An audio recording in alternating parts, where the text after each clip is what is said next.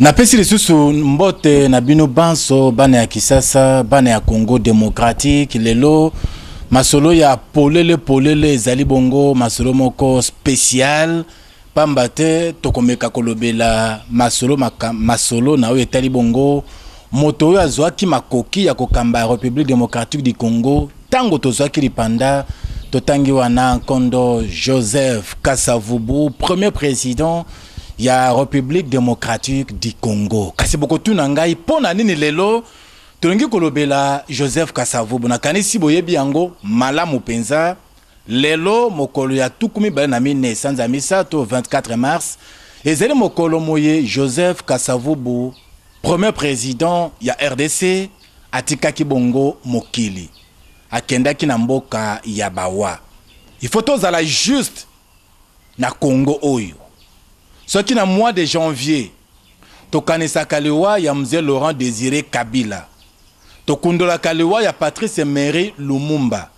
Mpo na nini te moto oyo afandaki liboso na yenda ya kokamba Congo democratique mokolo ye akendaki eleka lokola mayi na mokongo ya libata? Yango biso tosimbaki lisusu libaku wana ya koya kokutana na moto moko oyo andimi Komema ngambo wana ya kosunga biso, kopesa biso masolo ya tata ya ba congolais ya liboso, totangi wana Joseph Kasa-Vubu. Nani invite na biso? Nakanisi bolingaka mpe bosepelaka na makanisi apesaka. Mobiangami na biso ezali mama Marie-Rose Kasa-Vubu Kiatazabu, mokambi ya OPK, lisanga oyo ezali kobatela. mpe kokamba mpe kotombola nkombo ya Joseph Kasa Vubu. Mama Marie Rose, mbote na yo. Mbote papa Fleury. Boni yo? Naza malamu.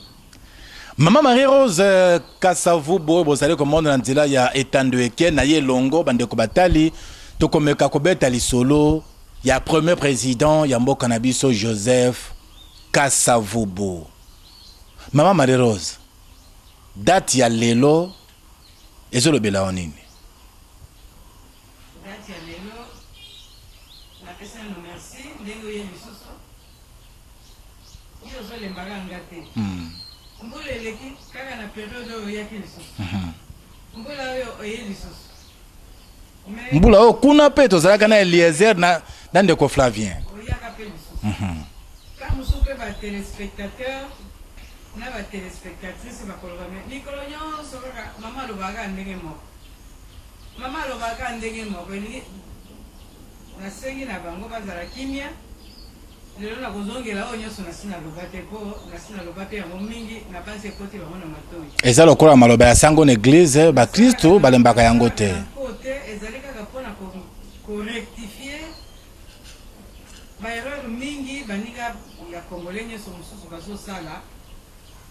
Nakoya na kati ya television parce que tango yo olobaka etando eke etando eke ba mosusu ba comprenaka te etando etando batandaka nini soki otangi kaka ba, ba, ba mots oyo ezo guider biso mikolo oyo c'est-à-dire television bato ba comprendre facile plus facilement ba erreur mingi ezolobama Mais soki totali pe batu wana c'est comme si bazo sala kaka na nko mpo na kolinga kozipa mais oyo esi ekomamaka ekomamaka.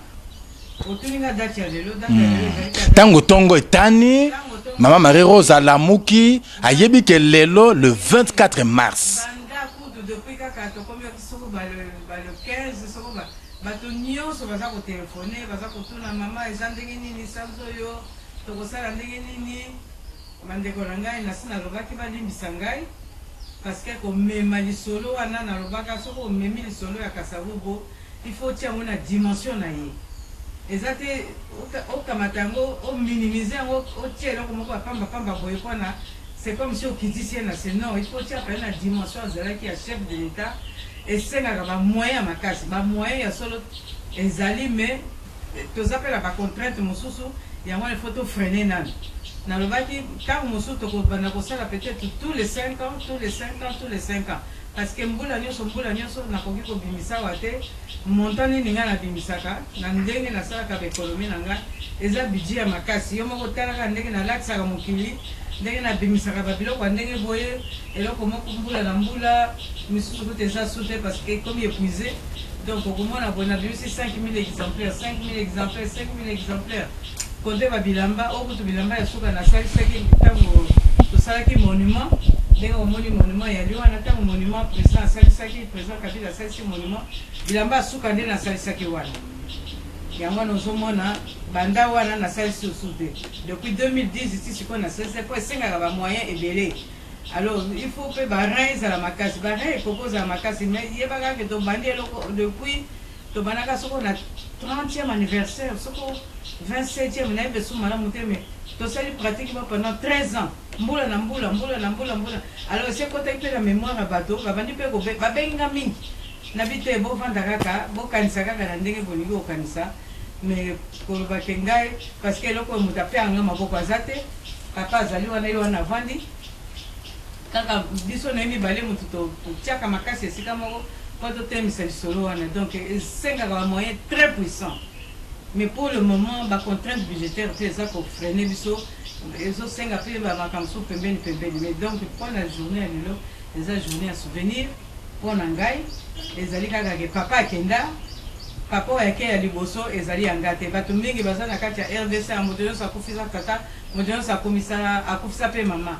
Yo otuni date ya lelo eza nini? Ezali premier president moto akufaki souvenir na yo wana.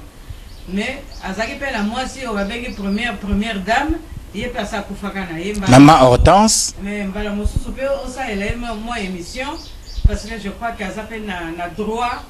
na kati ya rdc au moins place na ye ezalaka tosengi te ke babwakelaka ye ba fleurs tout le temps mais ne fût-ce que kotia ye mpe na lignee ya ba grandes figures oyo eza na kati ya rdc pas seulement na kati ya congo central mais na kati ya rdc ba, ba venere baza ebele mais mama oyo afandaki na kiti ya liboso ya presidence ya republique je crois que ye pe kiti na ye ezali quelque part mais ezali kaka peut-etre omission ou bien azali kobosana mais kobosana on peut toujours rectifier donc date ya lelo mpo na ngai explication na yango kopesa oyo yango wana mama marie rose nakanisi na tondi yo mpenza botondi na beyano outi kopesa ndenge bandeko batali batelespectateur Bazali bongo kolanda biso olobi awa ezali mokolo obungisaki tata akendaki oza mpe oza mpe moto ya liboso te batata bazali ebele mais soki biso toye epai na yo pamba te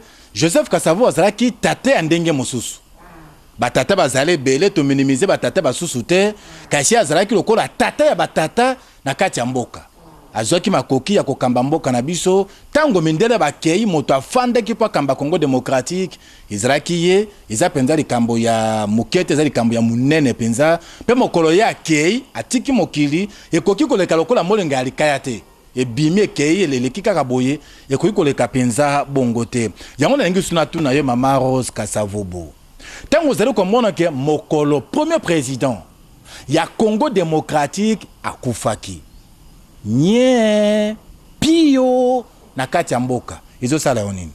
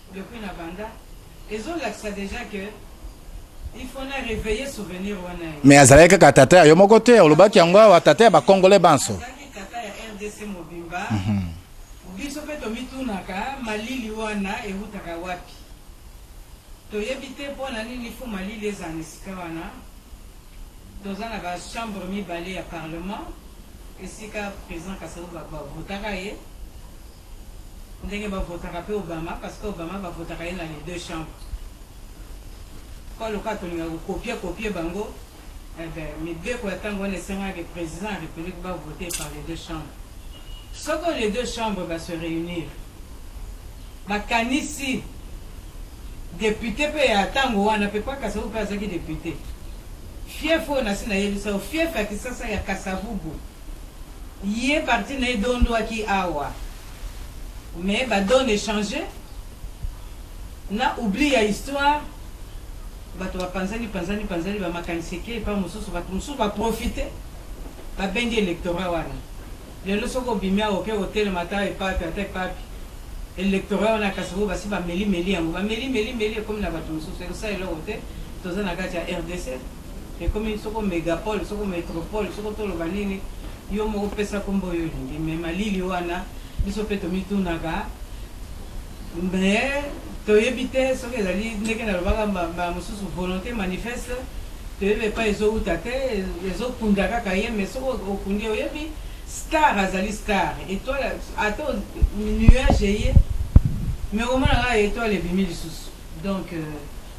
Je ne sais pas president ya bato azalaka na ye te ndenge omoni ye wana mais tango ye asimbi kombo ya kasa vubu na maboko atomboli okoki koleka na kimpuanza okotala ye aye sima ya bato mosusu ba kulutu baza pe ebele oyo akoki koloba mais ye ayaki ne sima tango kasa vubu ayaki president azalaki te tango kasa vubu pe akufi azalaka pe na ye te Mais asali musala munene quand meme tokoki ko reconnaitre tala kaka yo moko mais soki ba konzi to bani gouvernement gouvernement question ezali wana mais soki nga na telemi na bika eh ye azoloba point nini ye azalaka bongo alobaka bongo mais Lisolo ebandaki kuna ezali source source epai ewutaki ezali papa oyo ekosala esengo pe parce que ye pe akenda mais atika pe batu ba fanatique bazali ata basi akufi kufi batu ya gene oyebi ke soki ye azalaki lelo aza na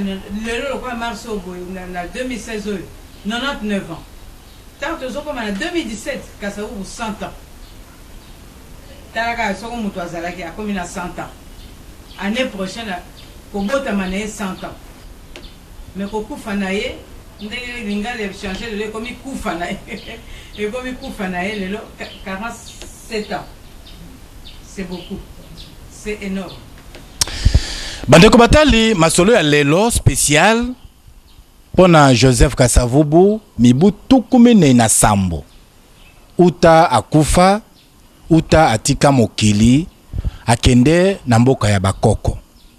Mama Marie Rose, motuna oyo ntango mosusu ekozala mwa mpasi, kasi ekozala na litomba ya kosunga baye bazali kotala biso. Sunga biso na motuna oyo.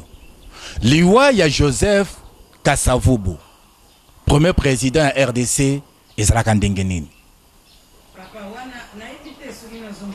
Eza lokola liloba ya Nzambe to tokoki kolemba yango te.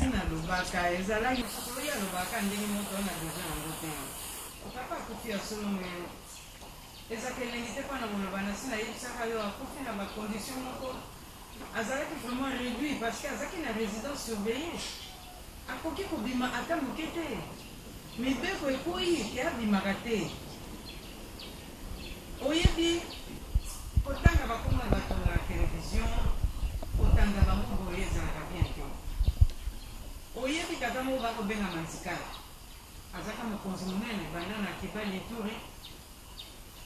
Makomso na yebisa kaka boye bino bozo loba province provincete te ba province wana eza ba republique minene ata na afrique ata eza na ba mboka mosusu na ba oceanie okokuta mwa eloko ya moke boye ezali republique azali gouverneur ya kibali ituri na ntango ya kasavo erreur mosusu ezali awa parce que ezobima te ke na ntango ya kasavo ba province oyo kabila wuti kotia sikoyo president Ezalaki na tango ya Kasavubu mais comment on le dit pas? C'est pour ça que ba za ko desorienter batu, batu bazo mona ngo on dirait oh ba diviser, ba diviser mutu te, c'est pour etre vraiment près de la population parce que oza na mboka lokola Kikwit, gouverneur azali wana po akende okomelo na Mayi Ndombe kuna mosika, po akomelo soko na, na Kasongolunda mosika, mais tango bakaboli yango batindi nge wana ba gouverneur ndenge bavandi vandi na ba, ba, ba place wana Communication eza beaucoup plus facile na administration ekotambola bien mais na tango ya Kasavubu Manzikala oyo nazo lobela tango aye kokoma na Kisasa akomaki nanu liboso soko fournisseur principal soko azalaki na titre moko ba titre eleka mingi na mboka oyo na bosani te ti akomi pe ko diriger cote ya ya Congo central kuna Mais lokola ayebaki president kasavubu bien aye kotala ye po amona nanu moto oyo akenda après coup d'etat esukela ye ndenge nini papa manjika aye aye kokuta president moto kuta adisutaki te malgre akuti basoda na porte ye mokonzi ya leta na ntango wana akoti mpenza papa avandi abandi koexplike Abby kende na kisasa yebisa marechal euh, wana akomi na marechal te yebisa president depuis nga na yo tala ndenge nga nakoma boye nabimaka te nasalaka eloko moko te nakoma zoba zoba moko boye nakokoma na porte te nakuti okuti basoda na porte me basoda natuna ye nano eske ye mpena moto atinda basoda wana nabima te mwa mpasi moke moye nabima eza te mibeko ekoya ewuta na ministère ya interieur eske aza au courant ya makambo oyo Tabu tabu tabu tabu nasala mbongo pe te po nga nalia po nga nameka kosepelisa mwasi na nga il faut nakende kodefa mbongo na socobank nasi nalobi lomba na nga mais peut etre lelo na change forme ya lisolo le fond reste le meme na change forme po ya lisolo epesa mwa couleur mosusu te azodefa mbongo na socobank asombi kimalumalu ya chevrolet ya rouge neveu na ye toko benge vieux boulot papa celestin azalaki awa boye azalaki pe chauffeur na biso na tango ya ya mont ngaliema tokendaka na ye ti kuna lokola azalaki neveu na ye apesi ye motuka wana po esalaka transport esalaka fula fula kolonga boma ti na tiela nzela ezalaki bien donc akosala va et vient va et vient ata 4 fois na koka akamati mwa mbongo ayeli papa Nionso wana papa manzikala a explique a explique a explique a explique alobi ah nga nayebaki te oyebi ke ngai na ngai nakufa tango nakomaki na katanga kuna bakundaki ngati bakundi nga mobimba batiki motu libanda bakundi nga na mobimba ifai nakufa na makambo eza oleka kuna ya batango wana e ba jeunesse ya boye bakangaka ye moto alivreyaki nga ezalaki président kasabubu ndenge ozali boye bongo sikoyo Yo oza na situation boye biso toyebaka te que makambo eza boye tika nga nazo zonga na kisasa tango nako zonga na kisasa nga na kende koyebisa na president makambo nyonso nga na yo te on avait dit ça ah. nako soko nazongi na kisasa nakoyebisa yo na ntango wana mpe monsieur de Cooper oyebi de Cooper Ye moto ayaki mokonzi monene na banke moko babenga Socobank. Ye pe aye. Ngai moko moto nakei kosala mwa plateau moko ya ba amuse-gueule boye, nasalisaki mwa ba, ba, ba oeufs à la russe et tout ça, po na kopesa bango. Papa abandi koyebisa ye situation, Naza na mbongo te, naza na eloko moko te. C'est-à-dire que akufi na ba situations ya pasi, si, situation financière ya ma, ya pasi, alors que atikaki mbongo. 14 milliards. Trop comme na chapitre wana mama Rose. Bomba ko pembeni na coffre fort. Congélateur wana tango ko fungola yango to ko longola la glace nyonso bongo na ko yebisa yango mais a expliquer. Tango ya expliquer yango manzeka la kilo. Ko kende ya keyi tango a keyi po a yo na lio wana président Ake na mboka oyo na Allemagne na visite officielle, akendaka na Nord, akomaka soko na Etat ya Baviere, soko mpe na ba, oui, na Baviere, sango ekwei ke na sango akufi. Donc azuaki lisusu l'heure kutu te ya koyebisama ba pasi nionso oyo Papa Kasavubu ayebisaki na, na, na Papa Manzikala.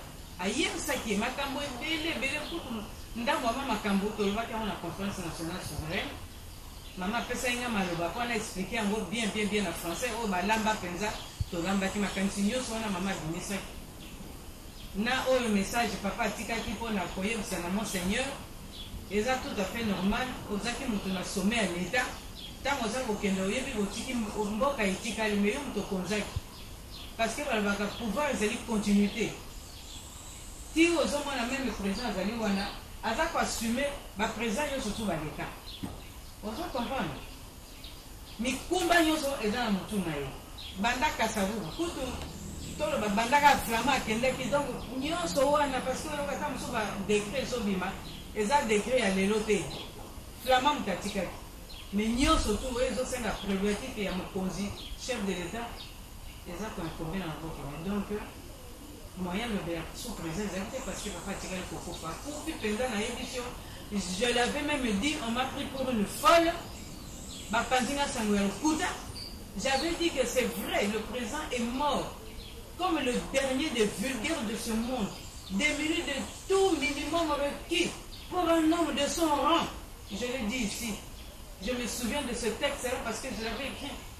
Moi meme de mes propres doigts ti nazo koma yango mama azo tala president akufi ba kateli ye courant likambo ya courant oyo na lobaka yango chaque fois masumu ezali na kati ya compagnie oyo ba katela ye courant na ba fonctionnaire oyo balinga kosala ba excès de zèle baye ko kata je vois encore le monsieur qui est venu le soir à 19h à Ekoloba. Je m'excuse, je vais répéter. On m'a dit que je, je, je, répète toujours la même chose. Mais c'est ça parce que Ça defile comme un film devant mes yeux, il est venu pour declarer 12 Zaïre à l'époque que mon père n'avait pas. Ça choque, ça heurte la conscience. Pourquoi on doit faire ça à un chef d'État Pourquoi mpasi ezali esika na tonga wana soko likonga wana etubi na motema esala eswaka lokola eloko mosusu alors bafonction ndenge wana Eza pe biloko ya par hasard te parce que une personne investi par une un pouvoir divin ako tala kaka moto azalaka pembe akoma rouge akoma rouge akobima te Ako bima te terrasse kaka oyo ta zonga na lopango est ce que ba koki kosala moto boye ekomi lokola mbwa moko bazo sakana ne boye. Maman Marie Rose na tondi yo botondi na eyano outi kopesa kasi tokota na masolo na biso limbisa naino natuna yo epe osimbi na loboko wana eza, eza nini? oyo tata azalaki na yango oyo babotolaki roi de belge awa na boulevard to eza epe ya nini to okomi chef coutumier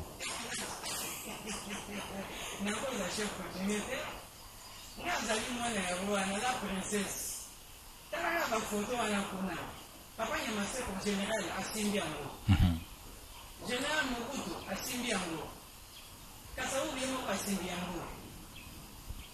Bokonzi oyo mais oyo ba congolais bazo wela kiti oyo mais ba pekisi ba symbole ba kasi ba symbole ya pouvoir yango hein balingi te balata su base bakolata nini ndenge nini bokonzi no bakorespecte yango parce que oyo ela leo obenga yango mpifo eza pouvoir ya nzambe Papa ya nzambe ooh ozo mona tango ba boto meme yo olobi na nga likambo ya oyo ba botolaki soko na boulevard mhm. mais ekokani kaka mais oyo ya kasavubu ba pesaki ye yango oyo ya roi godo pe ba pesaki ye po ezali kaka copie ndenge ba belge ba lataka roi albert eh, bango nyoso tout kuna meme na grande duché ya luxembourg bango nyoso ba lataka ndenge moko Babotolaki c'est vrai mais ozo mona ke mutu abotolaki yango kombo na ye boyimbo nabanzi boyimbo aza moyombe te soki olandi kombo wana nabanzi aza totalaki ndoki aza mongo je crois boyimbo hmm? babelge moko bajournaliste bayaki awa kaka likambo ya peo baye kotuna ngai Nakanisaki bakosala eloko ya malamu, baye bakosikosi nga awa, nabimisibimisi babiloko, bakangi nga tala na bakamera minene lokola na kati ya studio. Batii nga baprojecteur ya minene minene, batunituni nga bakestion, bake kosala biloko na bango, namimonani ata na kati te, eloko moko te. Na CD na nga napesaka bango bakenda na yango, balimwa na yango, eyaka te.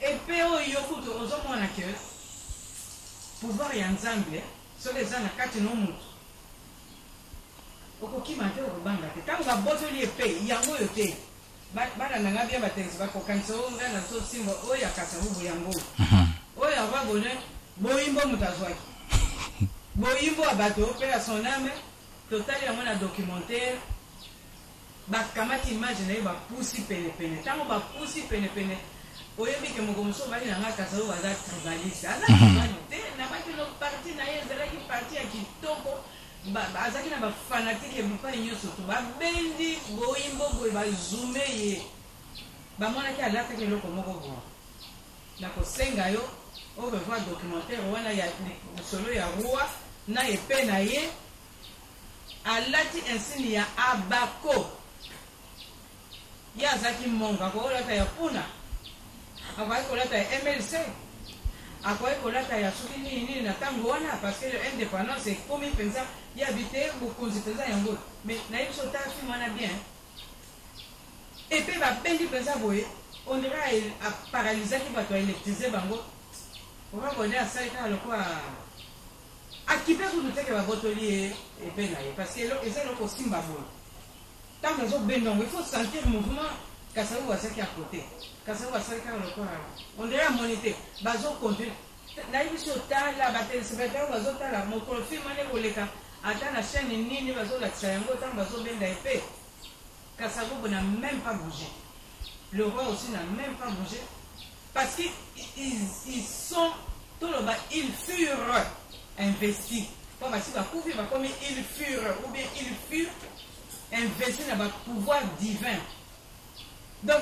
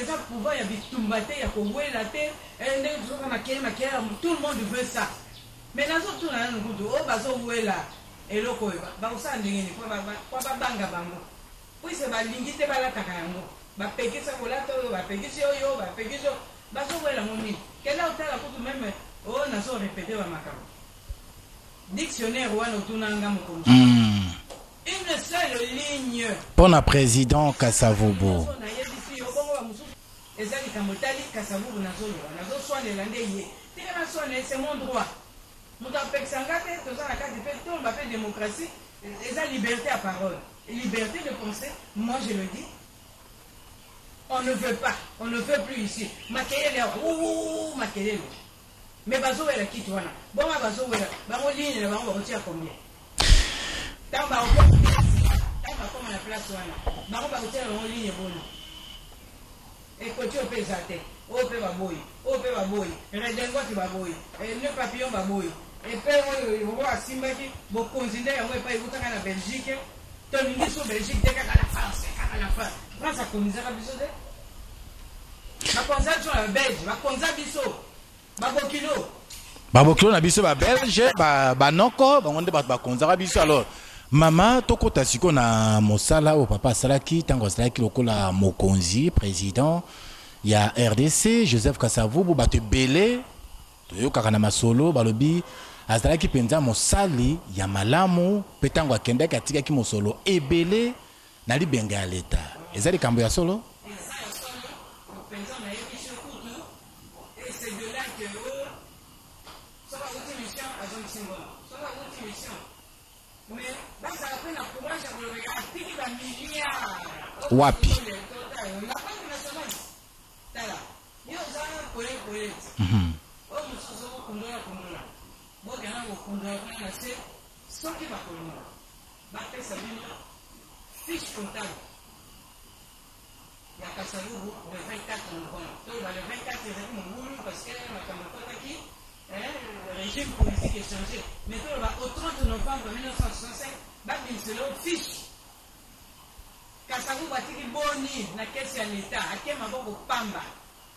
Atiki boni? Oyo eyebani 14 soko soko 14 te 15 milliards to mais nga nayebi ke 14 mpo nazala sur mais kuna na New York na compte na compte oyo ya na Federal Reserve na compte ya, ya, ya, ya RDC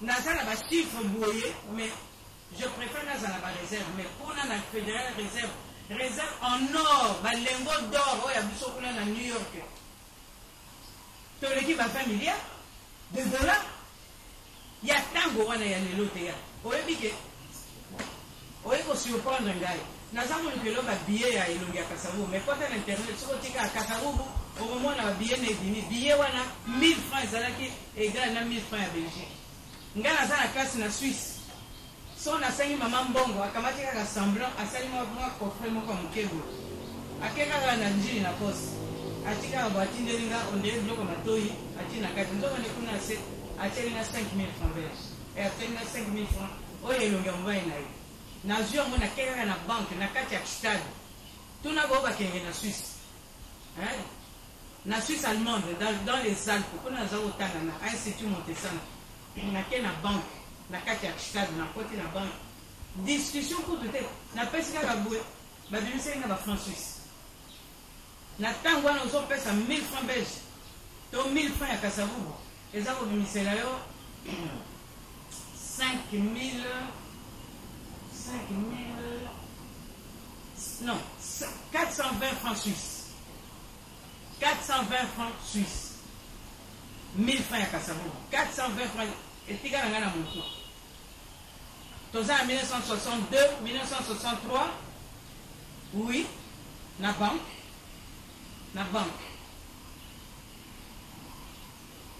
ezali site moko ya batouriste basalaka ski kuna surtout na hiver baacteur ya cinéma bahomme politique ba americain okokuta bana oyo ba papa yango basaka bango ba coup d'etat na Egypte euh, ba, lokola ba Liz Taylor ba Pete euh, Ostivon euh, Ostinov ba Liz Taylor bango nyonso hmm. okokuta na wana ya sol ya Lincoln mm -hmm. tozaka mpe na classe wana merci beaucoup Merci beaucoup maman Marie Rose euh, Kasavu boto yambi lelo na nzela ya masolo ba ndeko ba kuti biso na nzela lelo émission ezali spéciale pamba te lelo eza ekokisi bongo 47 ans autant uta président Joseph Kasavubu atikaka mokili tala ntina tobongisaki plateau oyo na mama Marie Rose Kasavubu Kiatazabu elongo na ye tomekana na kosolola na ntina ya nkondo Joseph Kasa Vubu. Motuna mosusu nakotuna yo mama, Ntango tata azalaki na bomoi, na maloba na ye oyo etikala na bilili, asengaki na Nzambe abatela Congo, a eclairer bakonzi nyonso ya rdc. Elingi koloba na ntango azalaki na bomoi, asengaki mpe alobaki malamu mpo na mboka. Bongo kotala oyo lelo ezali kosalema mpo na Joseph Kasa Vubu, eza ingratitude to boni?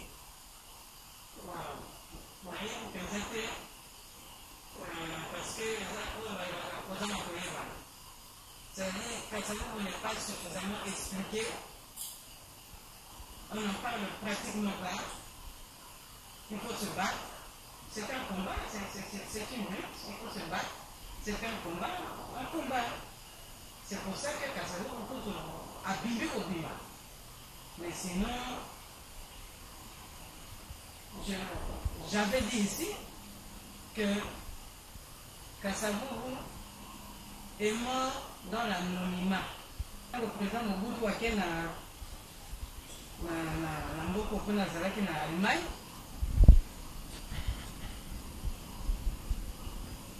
asengaki euh, funérailles nationales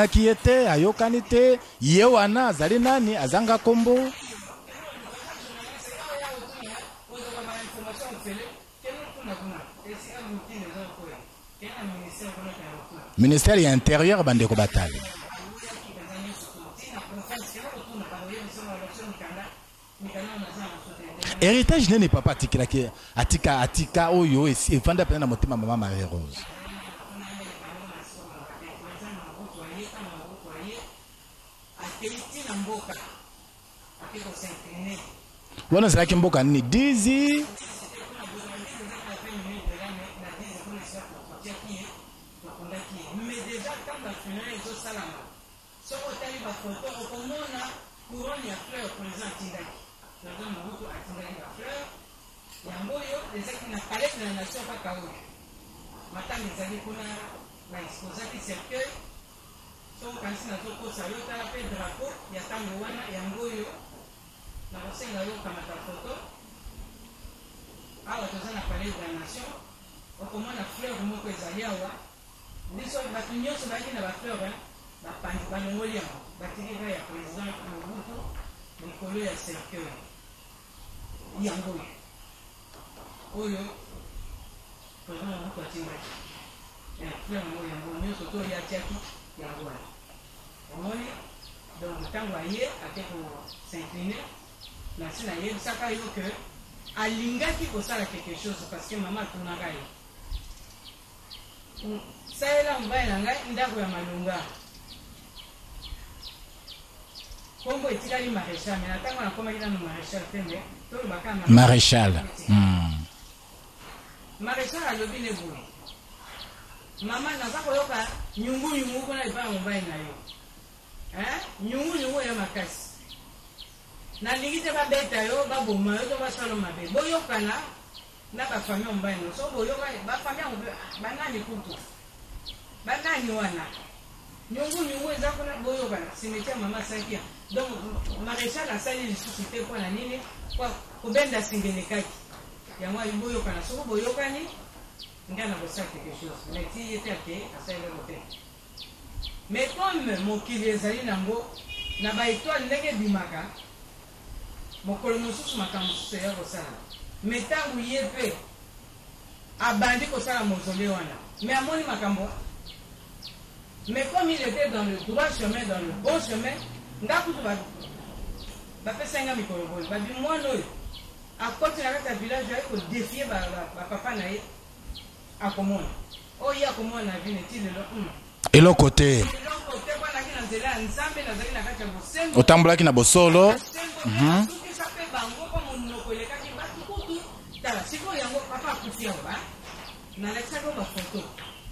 bazali kutu awa te ozo bafami na ye ebiso nde boye baza awa kutu te ame ah, kasi yango azangaki quand même bandeko te mama marie rose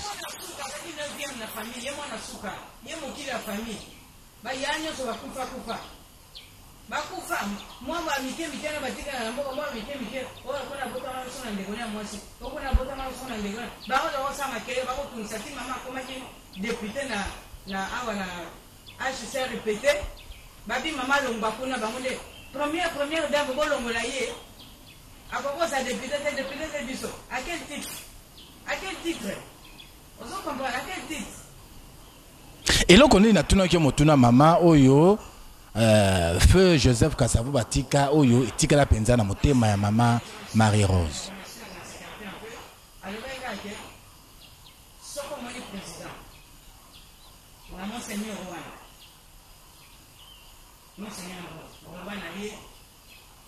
Nakia na nga na kanda te nakia na kanda te na pardone makambo nyonso tu oyo elekaki mpo na ngai kasi yebisa ye aipoteke indépendance nationale te tolobaki yango na bake kofunda oyebi oyebi eh, kuna eh, eh, maola sa alobi o oh, peuple efale ayeba Makambo nini moto azokende mpe azotika na succession na nsima na ye?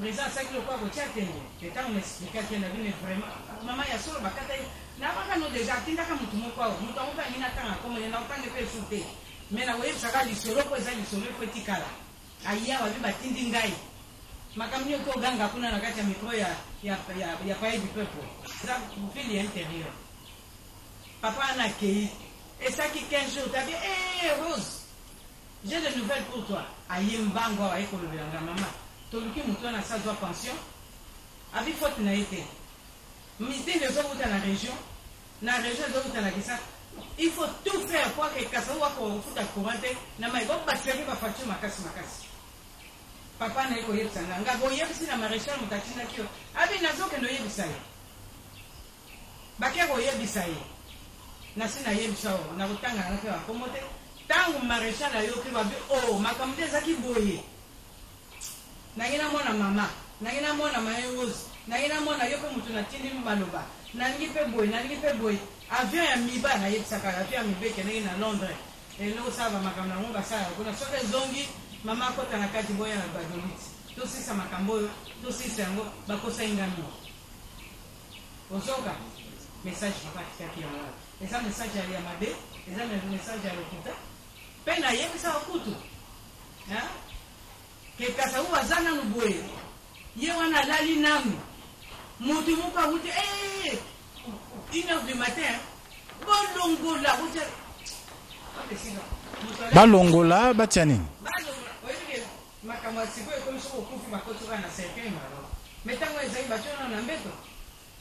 Batie wana na mbeto. Toza na 1969 attention. Il faut reculer dans le temps. Toza nanu na na na na 69 toza mpe na ntango wana ba mœurs échanger évoluer sikoyo directement moto na cercueil ba chambre froide ba makambo ebele ebele ba morgue toloba mais na ntango wana te papa azalaki na mbeto nanu moto moko ayekaka azalaki mokonzi ya ya ya ya impere kuna na kote ya patu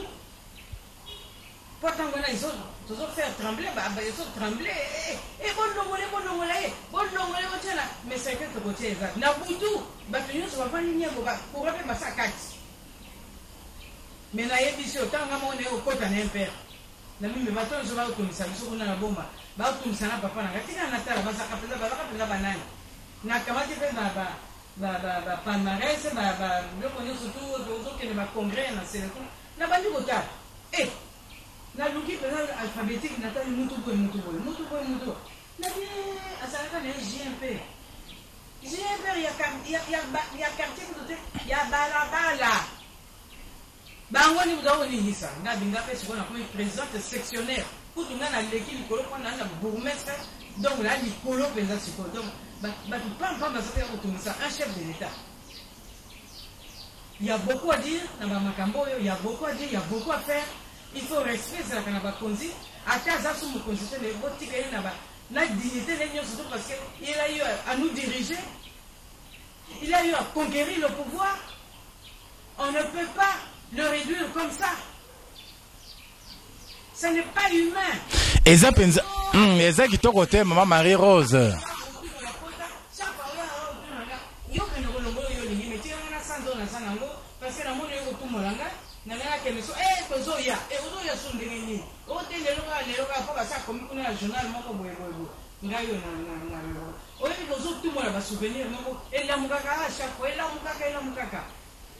Mutu ako lala boye te. Mais Marechal a recuperaki situation.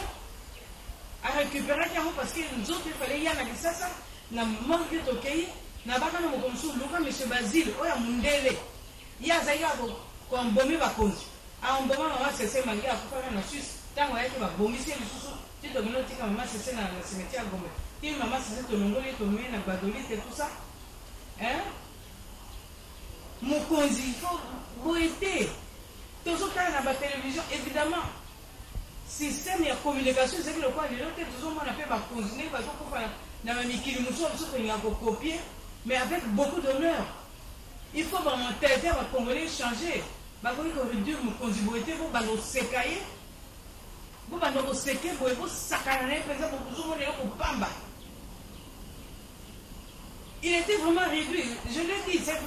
wana wana osi olobaki yango mama rose mhm, wana osi olobaki yango kasi to evole na, na masolo na biso ya pamba te masolo oyo ezali kosalema nazali kolikya te bato ndenge na ndenge bazali kotala biso mpe bazali koyoka mai tozali koloba na 47e anniversaire ya liwa ya joseph kasavubu bandeko batali Tokende mpe Kasa-Vubu oyo tozali kobeta masolo lelo.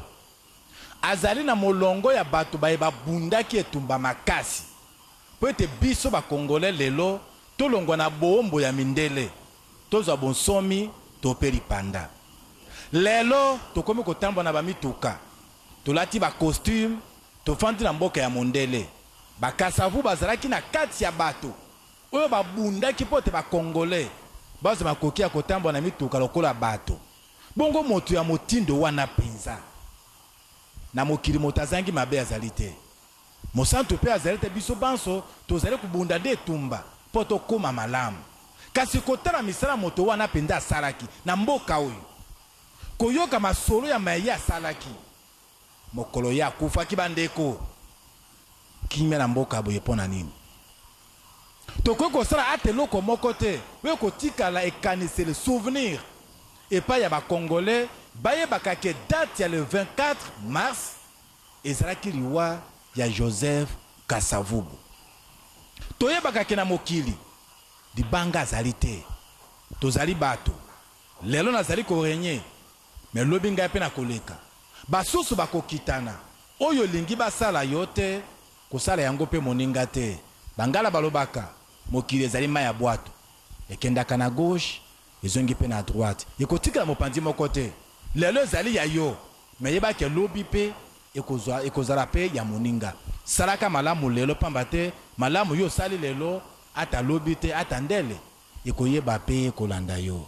Maman Rose nazongi lisusu epai na yo, ba congolais bazali kotala biso, bakonzi bazali pe kolanda biso mpo na makambo matali mokonzi ya liboso, ye Joseph Kasa-Vubu.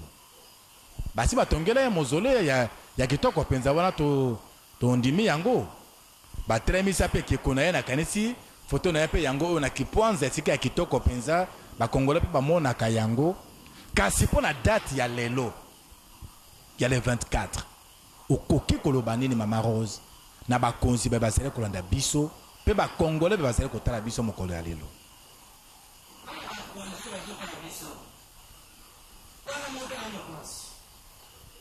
Nga pe mwana mokonzi. Nga pe mwana ya bakonzi. Mais mombongo na nga ezanga moko. Mais permettre nga nazonga mwasi wana. Oyo ya minyoko nyonso nayebisi yo yango. Ntango mosusu ezalaki soki tofandi kaka boye. Papa azalaki na ba regret. Abi ah nasuki mpenza boye. nazalaki na ba ambition nazalaki mpe na ba reve na ngai nyonso ekomi evanui soko andimaka na ngai ye totuni ondimaka nini abi boyebi ntango tokendaka ministre ya koloni ekozwa biso après baepreuve ya 4 janvier akobimisa ngo na boloko ye moko te ministre de colonie monsieur van emel reik tata moko mbinga boye molai ye mpe obaza soda amemi bango na bruxelles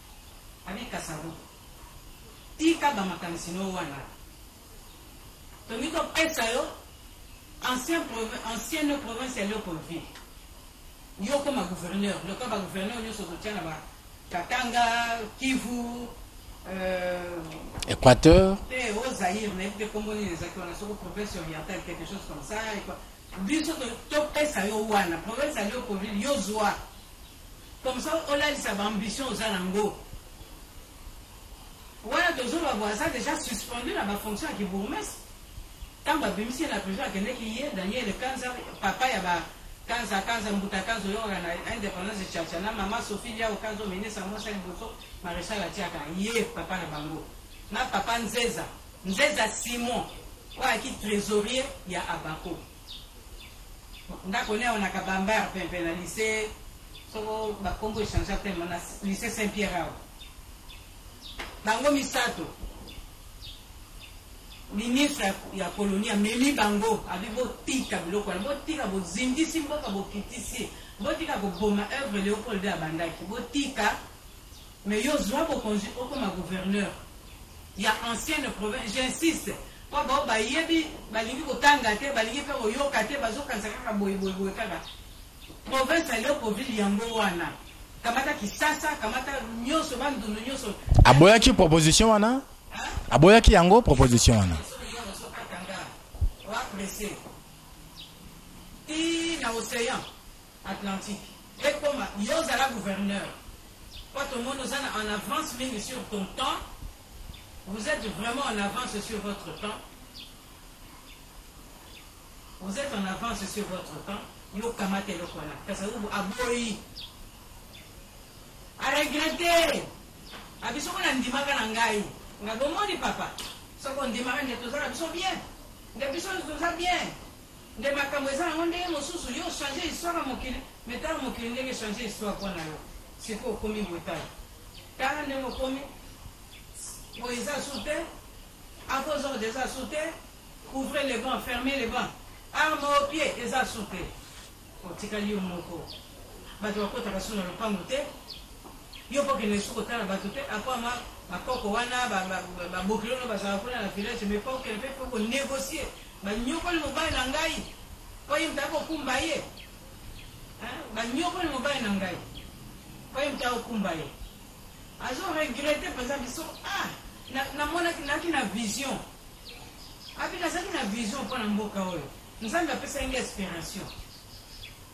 Il faut nasala yango. Ememi ngai, ememi ngai, ememi ngai. Mais ba trahison ebandi okota. A partir ya bato na ye moko. Mais maman bon na na tunoka motuna yango ma maman Rosa ata ko ngonga na biso ngonga na biso elingi kende. Hmm. Et, et, eza télévision ma maman. Siko abandaki ko regretter mais ye patikaki pouvoir na pete nyoso boye pona nini? Ye aboyaki, oyebi mpo na nini? D'abord parce que azalaki affaibli à partir ya Abako na ye moko. Abako, bolimbisa nga, oyo ya bino ya Kasavubu te, kombo ekokani te, polele. Mpo na nini kobomba bo? Mhm. Bango nde bakonzi te, baswanela mpe ye, puisque bakamati euh, responsabilité morale ya koassume logo wana. Hein? Abako ekomi mobulu. Baboti na ngai awa. Tofa tension. Kuna bako mwinda, kuna bako papillon, kuna bako soki je sais pas quoi, kuna bako soki soki eloko nini, soki eloko nini, mais finalement alembi. Bongo lokola basali emission na kati ya ndako na yo moko. Balembi sio na kati ya ndako na yo moko. Yo kosala ndenge nini? akokaki ko resiste hein abino aza commandant supreme nakokende mpe te ndenge bamosusu ezozala ekende eh, nakokende te je suis jires d'accord natikali bongo ngai natikali sikoyo eh, oyo ekoya eya bakufa nyonso to bana bato bakufa non azalaki na esprit mosusu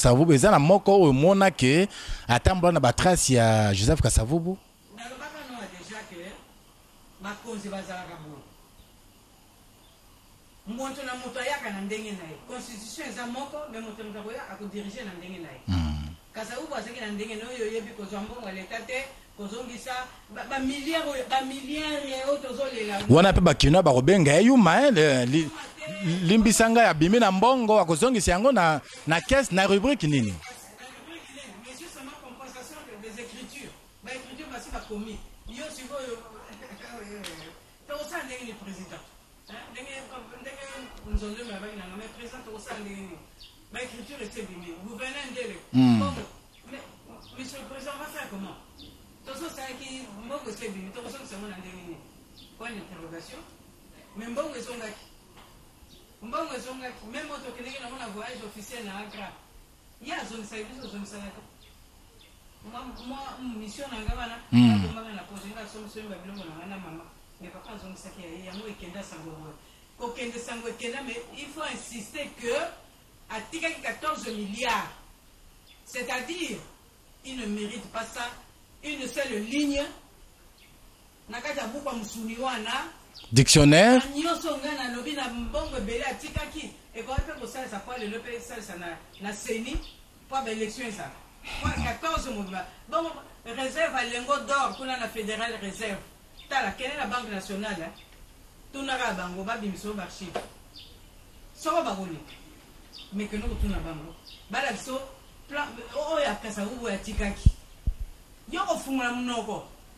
Ngabi papa il fallait ozua ozua comme tout le monde mais na nyonso omona na bomoi ya papa joseph kasavubu na oyo oyebi na oyo oyoka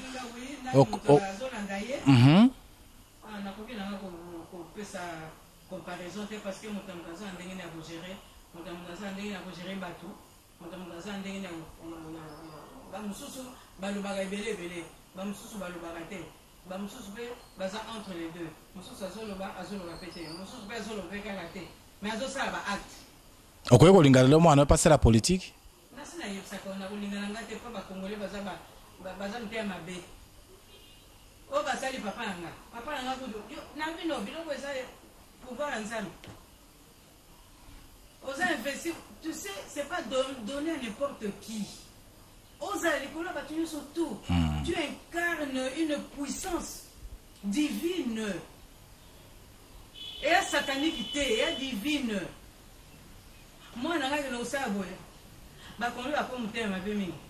Babomela nga mwana, babomela nga soko nani, nakoki kotinda na nzela wana te. Longola mua ba biloko ya mike mike mike pour ne pas s'embeter et tout ça, mwana akoki ko briguer na ye mua ba biloko ya mike mike mais ba biloko ya makasi makasi oyo non.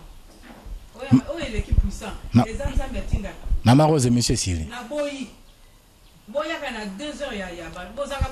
Maman Rose, eh, eh, omoni Joseph Kasavubu na lobaka tango nyoso lisolo na ye eza lokola nyama ya nzoko. Soki ekufi lelo ekopola kaka lelo te. Ata toye na 2 cassettes, 3 cassettes, 5, 10 mpo na Joseph Kasavubu ekosila kaka te. Mais oyo tobongisaki mpo na lelo